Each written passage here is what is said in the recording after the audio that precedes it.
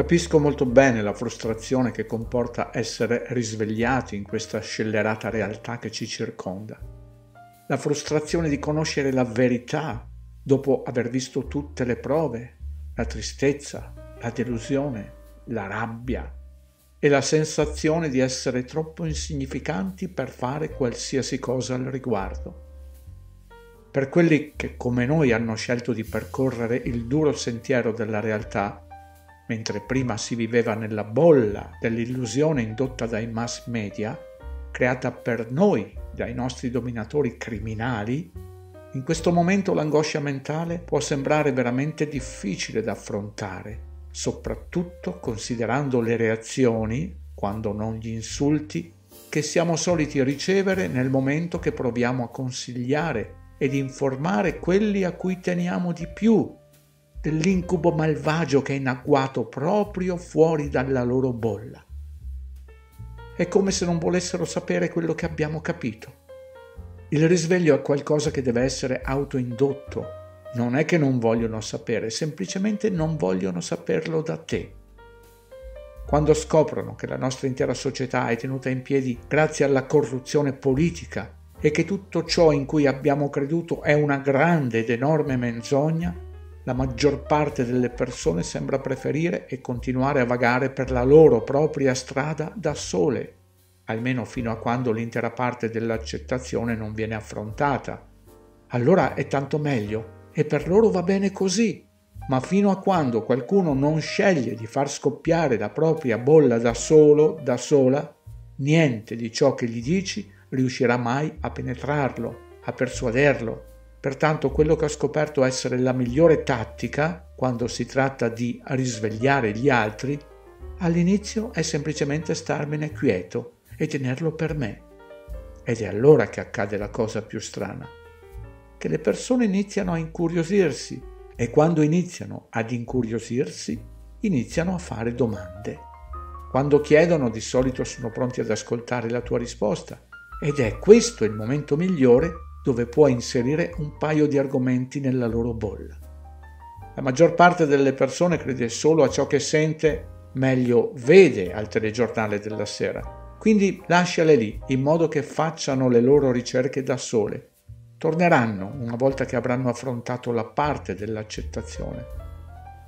Sono arrivato alla conclusione attraverso questi miei anni di ricerca che il risveglio di massa detiene tre gruppi o tre punti di vista. Gruppo numero uno. I risvegliati, che sono anche la minoranza. Sono le persone che hanno raccolto le informazioni per come stanno le cose e dopo aver fatto le ricerche su molteplici argomenti e dopo aver esaminato attentamente tutte le prove, sono giunti alla conclusione che in effetti siamo vittime di una massiccia ed intensa cospirazione di manipolazione, assolutamente malvagia quella stessa cospirazione scellerata di cui il 35 presidente americano John Fitzgerald Kennedy ci aveva messo in guardia nel suo discorso sulla società segreta nel 1961. The very word secrecy is repugnant in a free and open society. And we are as a people inherently and historically opposed to secret societies, to secret oaths, and to secret proceedings.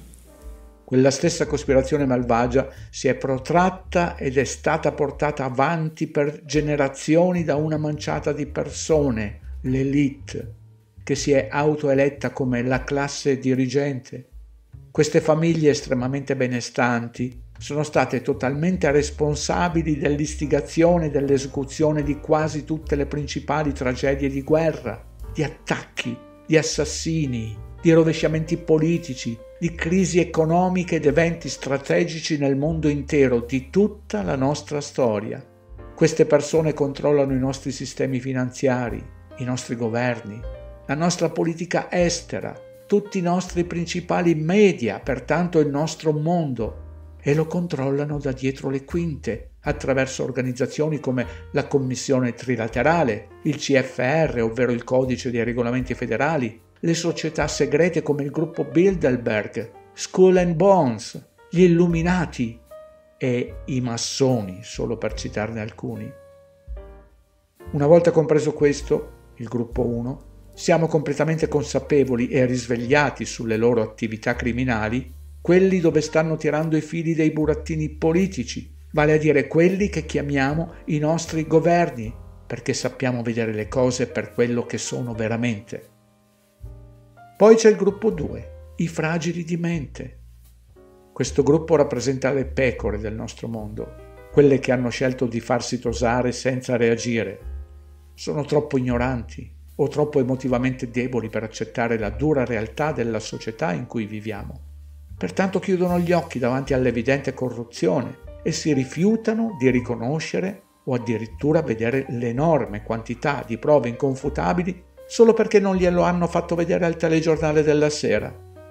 Ora alcune delle persone di questo gruppo, in fondo, sono in qualche modo consapevoli della verità, ma ne negano l'esistenza, perché alla fine dovrebbero accettare di dover rivalutare completamente il loro modo di pensare e la loro comprensione di base sulla realtà dell'inganno generale. Gruppo 3. I colpevoli. Queste persone sono i criminali, i doppiogiochisti e i bugiardi. Sono i nemici diretti dell'umanità intera. Non hanno alcun standard di moralità, nessuna sostanza o integrità. Sono colpevoli di tradimento e molti altri crimini. Corrompono intenzionalmente il flusso di informazioni veritiere in modo da creare confusione riguardo a chi, come me, cercano di portare la verità e la comprensione. Sono il cancro dell'umanità. Comunque penso che ci stiamo costantemente avvicinando al punto in cui le persone risvegliate alla fine saranno più numerose degli ignoranti e dobbiamo fare del nostro meglio affinché ciò accada, perché quando i consapevoli diventeranno la maggioranza, saremo finalmente in grado di agire ma fin tanto saremo in minoranza, qualsiasi tentativo di mettere in atto qualsiasi tipo di azione verrà rapidamente soppresso dalla maggioranza. Quindi la strategia più efficace che abbiamo in questo momento è far scivolare uno o due fatti alla volta dentro le bolle di più persone possibile e lasciare che la natura umana faccia il suo corso. Mai prima d'ora comunque ho visto così tante persone accollarsi il peso per cercare la verità sui veri governanti che hanno e che stanno manipolando i nostri governi, che hanno e continuano a rubare la nostra ricchezza, governanti che ci hanno mandato a morire in guerre inutili create solo con la propaganda. Siamo gli unici col potere di porre fine a questo regno del male. Quindi andiamo avanti e mostriamo a tutti la luce. Stiamo uniti e teniamo unita tutta l'umanità insieme per liberare i nostri desideri di verità e di giustizia e insieme poniamo fine al nuovo ordine mondiale.